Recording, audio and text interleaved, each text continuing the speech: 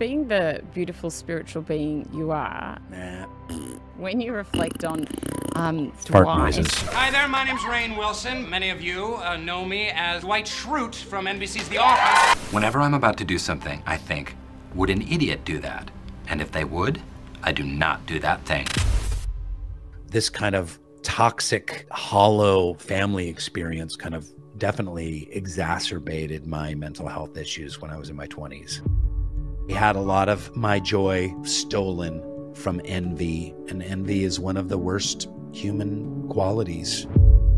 I am enough, and my life is enough. It's not going to get any better than right now. It doesn't need to get any better than it is right now. There are still days or even weeks where I'm like, why can't this go my way? And this is part of all of our spiritual journeys, even if you're an outrageously handsome television star like myself.